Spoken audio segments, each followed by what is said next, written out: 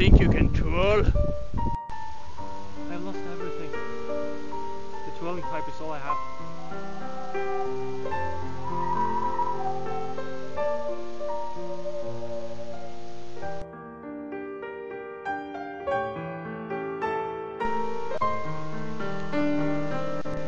It wasn't easy growing up. Your twirling pipe will be untied when the time is right.